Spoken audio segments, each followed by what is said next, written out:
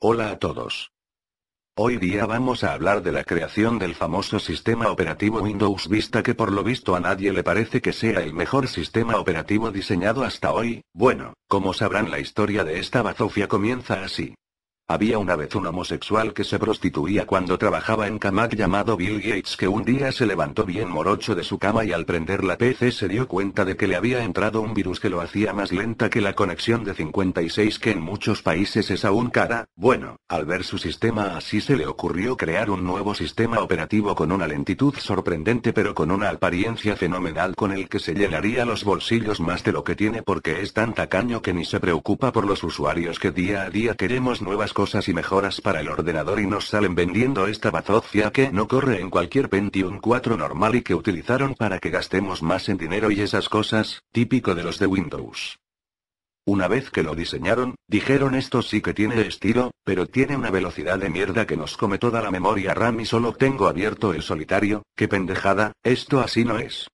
Pero el muy puto dijo no critiquen hijos de puta que para eso les pago así que mejor cierren la boca y ya les pasé el dato a todos mis amigos de las compañías de videojuegos que están contentos conmigo porque sus juegos tendrán unos gráficos del meollo pimpollo pero requerirán una velocidad de la gran puta, jajajajajajajajajajajaja que pendex soy, es por eso que soy el mejor de todo el mundo y hasta algunos me han dicho el anticristo un apodo que mola.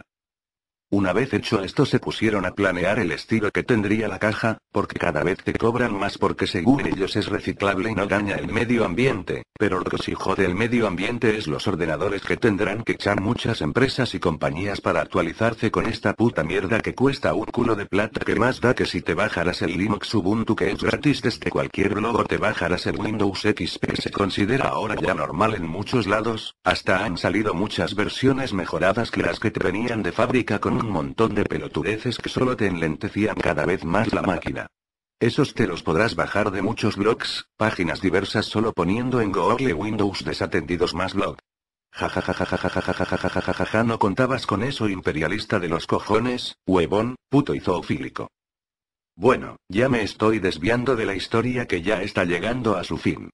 Pasó el tiempo y ahora las nuevas computadoras que compran vienen con Windows Vista que algunos todavía lo ven de alguna utilidad, quizás ha de ser porque no les ha salido el pantallazo, mientras que Bill Gates sigue bañándose en muchos verdes mientras tú te has quedado sin ningún duro. Bill Gates ahora está más contento que nunca por haberle llenado los bolsillos y como repito y quizás ya os habéis visto en muchos lados les retó a que desafiaran su sistema operativo y todavía una mujer, lo que él siempre quiso ser, le desmoronó tremenda cagada con un simple programita que de seguro pesaba 1 kilobytes. Ja pero qué perrada, como lo jodieron, ahora dicen que la puta, digo apunta hacia el futuro.